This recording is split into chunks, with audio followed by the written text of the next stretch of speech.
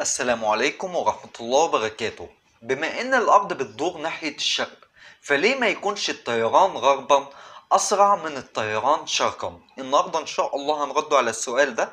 أحب أفكركم في الأول إن المصادر هتلاقوها تحت في الديسكريبشن. ده سؤال طبيعي مجرد فضول. الفضول العلمي رائع غير المحدود. الأرض بتدور ناحية الشرق بسرعة 1180 كيلومتر في الساعة الواحدة. فلو أنت راكب طيارة وبتحلق ناحية الغرب فمن المفترض إن أنت توصل أسرع. الإجابة باختصار الكلام ده مش حقيقي لأن الطيارة برضو بتتأثر بدوران الأرض. بمعنى إن إحنا بندور مبتعدين عن وجهتنا بالرغم من إن الأرض بتدور بسرعة 1180 كيلومتر في الساعة إلا إن سطح الأرض وكل شيء عليه بيدور بسرعة أسرع من كده بيدور بسرعة 1670 كيلومتر في الساعة. وحتى الهواء المحيط بالأرض بيدور بنفس السرعة تقريبا ناحية الشرق.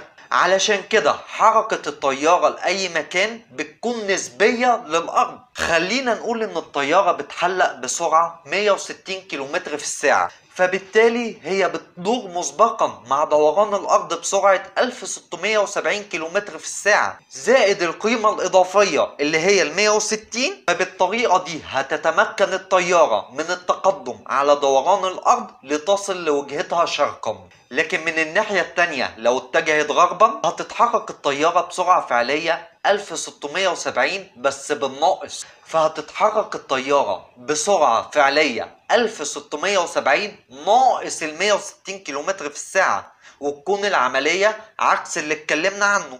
للذهاب غربا نحن نذهب شرقا. لكن بسرعة أقل من سرعة ذهاب الأرض شرقا. إلا لو كنت قريب من القطبين الأرضيين بمسافة 16 كيلومتر تقريبا. ساعتها هتكون أي انطلاقة باتجاه الغرب هتخليك تتحرك غربا بشكل فعلي. لكن الأمر مش بالبساطة دي لأن رياح في الغلاف الجوي العلوي بتنشر الفوضى وبتغير الحسابات. وعلشان نبسط الأمر خلينا نقول إن الرياح المذكورة بتتعلق باختلاف سرعة دوران أجزاء الكرة الأرضية. كل ما بنبعد عن خط الاستواء بحيث إن كوكب الأرض بيشبه الكورة لما نقوم بتدويرها بتكتسب جميع أجزائها نفس السرعة الزاوية بالنسبة لمركز الكورة لكن السرعة الفعلية لكل منطقة على سطح الكورة بتختلف. كل ما بتبعد عن نقطتين التقاء محور الدوران سطح الكورة.